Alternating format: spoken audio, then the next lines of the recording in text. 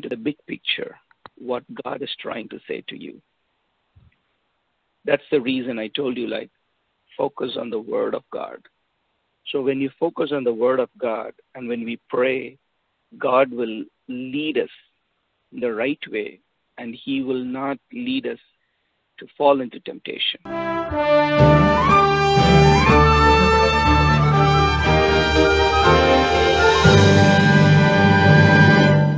Most precious God, thank you, Lord, for this wonderful time you have given us.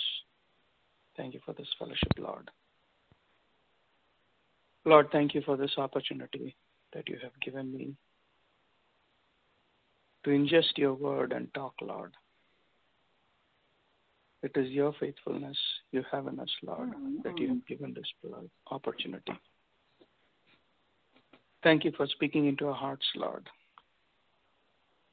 We especially pray that you prepare our hearts to open for your words, Lord.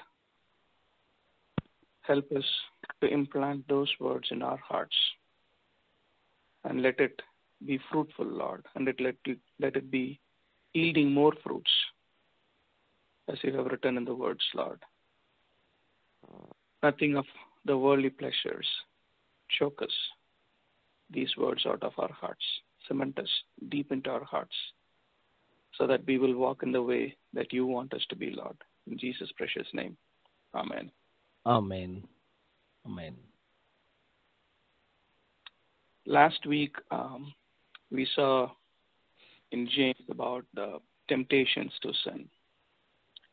Though I will not be dealing more with James today, but I want to indulge little bit deeper into the temptations to sin, uh, how we need to prepare ourselves so that we will not yielding ourselves to the temptations. How wise we need to be to overcome temptations. Last time we saw that in the book of uh, James, how we need to handle them. And we saw that temptations are faced by every other person. There is no other person in this world left alone for this temptation. I mentioned about the monk who is in a monastery. he is also dealing with the same temptation as an earthly person who is uh, outside. So it's a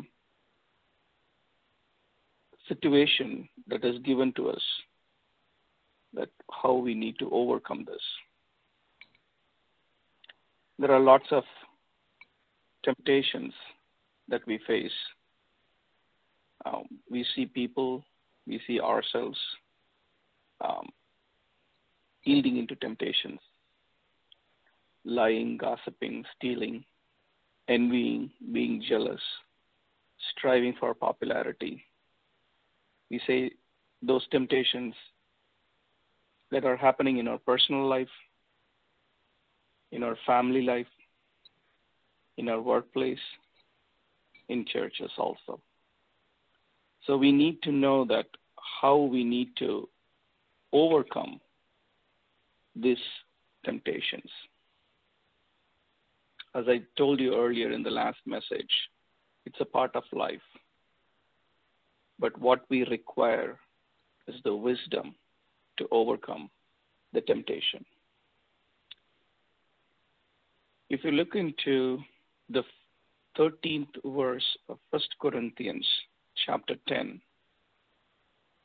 it says, No temptation has overtaken you except what is common to mankind.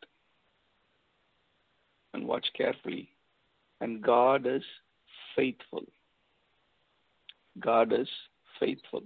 He will not let you be tempted beyond what you can bear. But when you're tempted, He will also provide a way out so that you can endure it. So we need to understand certain things, how to deal with the temptations. As I told you earlier, it's an enticement. And we also saw the source of it. Most of us, like we would always say, like the source of temptation is always Satan. But I think, like last message, we saw the temptations are from our inner desires. There is always an bait outside, but when we look into the bait and when we take the bait, we fall into the temptation. That's what we saw last time. There are three powerful forces working together in this place. You know that. One is this one is Satan, another one is the world system, and another one is our flesh. So being tempted isn't a sin, but yielding to it will lead to sin. We always, when we think about temptation or when we have a conversation about temptation, we always hear this phrase falling into temptation. Falling into temptation.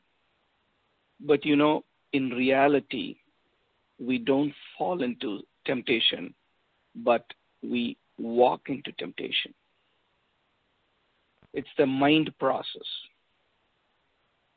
There is not an immediate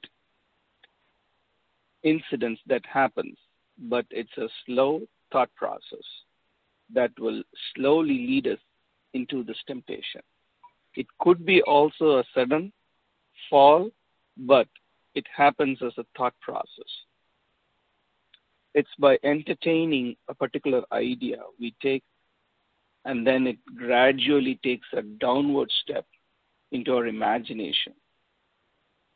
And again, when we look into all these temptations, we might think in the thought process, okay, come on, like if I'm going to do this, or if I'm going to think this, or if I'm going to take this, this is not going to lead me into temptation or lead me into sin. But that is the wrong step we are doing. Satan always knows how to lead us into the wrong path and deceive us. If you look into Genesis chapter 3, verses 1 to 6, if any have you, uh, any of you have uh, got a Tamil Bible, if you could read from Genesis 3, verses 1 to 6. தேவனாகிய கர்த்தர் உண்டாக்கின சகல காட்டு ஜீவன்களை பா சர்ப்பமானது தந்திரமுள்ளதா இருந்தது அந்த ஸ்திரீயை நோக்கி நீங்கள் தோட்டத்தில் உள்ள சகல விருட்சங்களின் கனியையும் புசிக்க வேண்டாம் என் சாரி நீங்கள் தோட்டத்தில் உள்ள சகல விருட்சங்களின் கனியையும் புசிக்க வேண்டாம் என்று தேவன் சொன்னது உண்டோ என்றது. ஸ்திரீ சர்ப்பத்தை பார்த்து நாங்கள் தோட்டத்தில் உள்ள விருட்சங்களின் கனிகளை புசிக்கலாம். ஆனாலும் தோட்டத்தின் நடுவில் இருக்கிற விருட்சத்தின் கனியை குறித்து தேவன் நீங்கள் சாகாதபடிக்கு அதை புசிக்கவும் அதை தொடவும் வேண்டாம் என்று சொன்னார் என்றாள். அப்பொழுது சர்ப்பம் ஸ்திரீயை நோக்கி நீங்கள் சாகவே சாவதில்லை. நீங்கள் இதை புசிக்கும் நாளிலே உங்கள் கண்கள் திறக்கப்படும் என்றும் நீங்கள் நன்மை தீமை அறிந்து தேவர்களைப் போல இருப்பீர்கள் என்றும் தேவன் அறிவார் என்றது. அப்பொழுது ஸ்திரீயானவள் அந்த விருட்சம் புசிப்புக்கு நல்லதும் பார்வைக்கு இன்பமும் புத்தியை தெளிவிக்கிறதற்கு இச்சிக்கப்படத்தக்க விருட்சமுமாய் இருக்கிறது என்று கண்டு அதன் கனியை பறித்து புசித்து தன் புருஷனுக்கும் கொடுத்தாள். அவனும் புசித்தான் என்பது. See how how this first incidence of temptation has happened.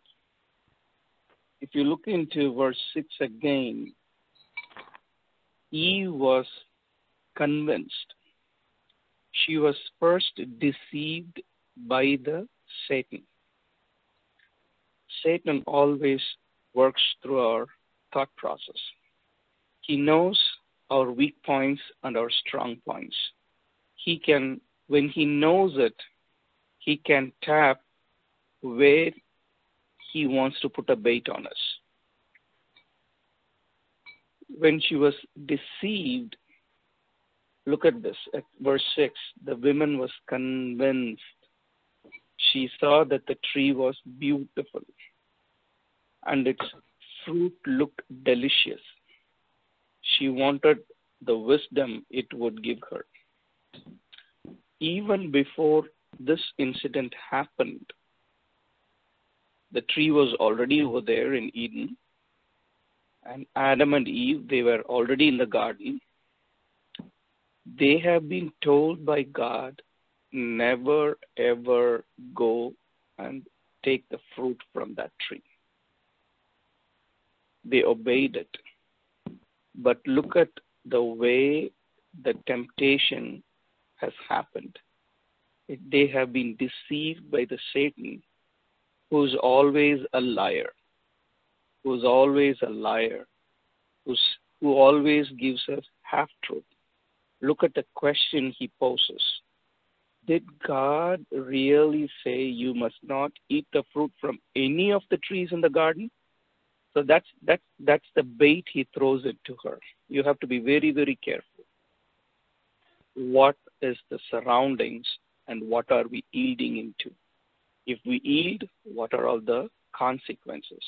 So look at this wonderful thing that is happening here that led to the downfall of mankind. Did God really say you must not eat the fruit from any of the trees in the garden? Eve knew what she is not supposed to touch. The Satan knew what God has told Eve not to touch, but still he throws in the bait. And when the bait is thrown, she is deceived by that. The same thing what we did study last week in James chapter 116, he says, Do not be deceived my bro- beloved brethren, do not be led astray. Eve was led astray, and the whole human mankind was led astray. So we have to be very careful about falling into temptations, leading uh, ourselves to fall into sin. So how does how does that happen? We already know that it is our thought process.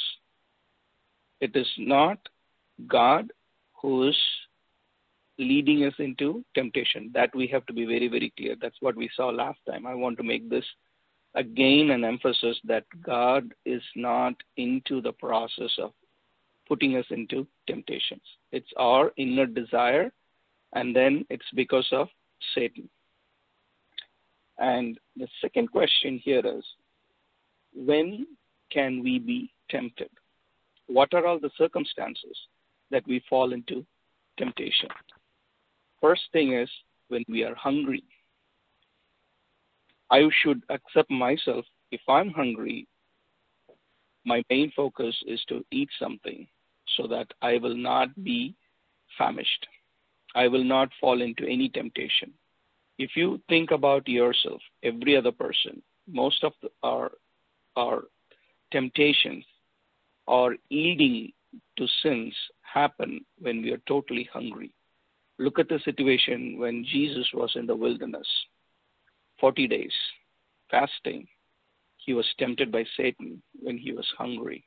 But the Lord was able to fend off those temptations using the words, the scripture. The second one is angry. Whenever we are angry, or whenever we are in a state of anxiety. If you think about what happened in our life, if you just look back, situations that has made us angry, or when situations when we are more in a anxiety state, that's the time we fall into temptations because like our mind is not focused. Our mind is not focused we are in a state of angriness. Our hearts palpitate. We are in a state of anxiety and anxiousness. So that's the time that we fall into temptations. And then when we are lonely. You have to be very, very careful when you are in a situation where you are totally alone. People fall into temptations and they fall into sin. When David was all alone, when the whole army was fighting, we saw that last time, how he fell into the temptation. It's for every other person. We have to be very, very careful how we have to behave when we are lonely. There is a there is a um, proverb which says like character is what when you are all alone, because mankind can fall into any type of sin or yield to temptation when he is all alone. And then when we are tired, our brain doesn't have the capacity to focus on anything. You don't have the energy. That's the time like when people tend to fall into sin. So you have to be careful when we are hungry, when we are angry, or in a state of anxiety, or when we are lonely, or when we are tired. So it goes by HALT, H A L T, hungry, angry, or anxiety, lonely, or tired. So, what are we supposed to do when we are yielded ourselves to sin or to be tempted? The first thing you run to is the Word of the God. You remember what happened in the wilderness when Jesus was there. When he was tempted, he was able to fend off by using the scriptures. So we need to focus on his words, read his words, and then we need to pray to him. If you look into Luke chapter 22 40, Jesus says to his disciples, Pray that you will not fall into temptation. Pray that you will not fall into temptation. So try to read the word, focus on the word, focus on the scriptures, and then try to talk to him try to communicate with Him. When we do this, when we have this focus on Him, on His words, we can resist the temptation.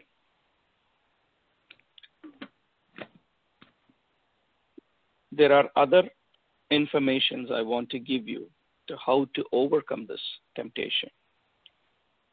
One important point here is we have to take responsibility. As I told, there is always an outer bait that is trying to lure us, take the bait so that we will fall into temptation and eventually into sin. So we have to take responsibility of our thought process. What we think, what we see, are we seeing something that is making our mind deceived so that we will be yielding into temptation? So the first thing is we have to take responsibility of doing the right thing. And then the second one is focus on the big picture. Whenever there is a temptation, we always look into the minute details of the pleasures that we will be gaining out of that tempt, tempting. When we see something that is very tempting us, we always look into that small thing and look into the immediate consequences of that. But you look into the big picture, what God is trying to say to you. That's the reason I told you, like, focus on the Word of God. So when you focus on the Word of God and when we pray, God will lead us the right way and He will not lead us to fall into temptation. The second one, the third one, I'm sorry, the third one is we have to identify our weaknesses in our lives. When we when we think that we are falling into temptation, we need to see on what are the weak points.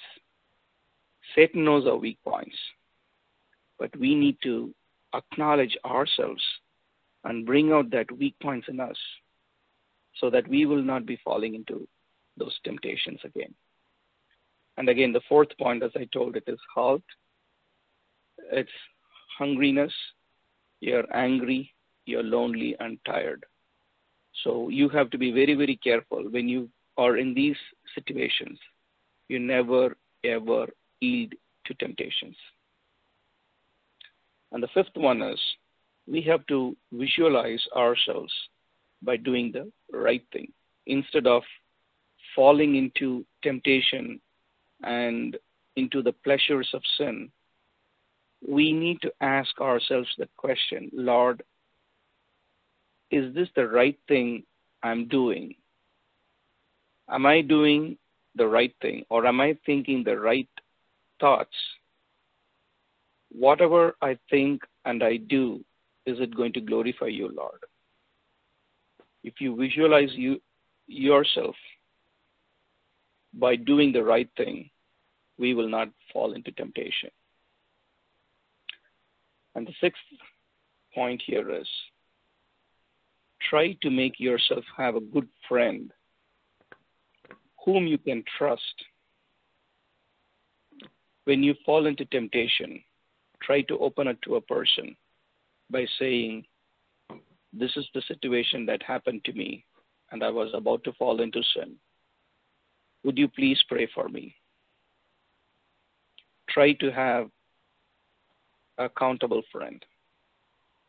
The seventh one is, as I have already mentioned this, read the Word of God. When you, if you do remember the Lord's Prayer, the last part, it says, lead us not into temptation. There are plenty of words, verses in the scripture that will lead us towards Him. Focus on Him. Focus on His glory. Focus on His faithfulness. Try to read the Word. Meditate on it. Pray about it. God will definitely lead us out of the temptation. The eighth point is prayer. Have a wonderful communication with God. Even when we pray, we should not fall into temptation. As I earlier mentioned, like when disciples were in the mount, God says, like, don't fall into temptation. They were about to pray. God was about to pray. Satan knows where to put a bait. We might pray, but at the same time, we might be thinking in the back of our minds, what would I be doing for lunch? What would I be doing at home when I go back from work? What do I need to buy in the shops during the weekend? These are all the thought process Satan always brings into. I'm just mentioning a few, there are more. Satan always deceives us by throwing into all these things into, into our minds when we sit for prayer. He tries to interrupt us, the communication between God and us, so that we will be away from God but closer to Satan. You have to be very, very careful. There is nothing we lose on this earth or in heaven when we obey and trust Him. That's what we read in Proverbs 3, 5, and 6. Trust and obey Him. Lean not in your own understanding. So we have to be very, very careful where we are, on what situation we are, and what are all the temptations that are surrounding us. Always focus on His words. That's the reason he taught us in the prayer lead us not into temptation, but deliver us from evil. Think about the big picture. Ask the question, Lord, is it going to glorify you, Lord, when I do this thing, or when I talk about this, or when I see this thing? It might be small things, petty things you might ignore. But is that going to be a big downfall for us?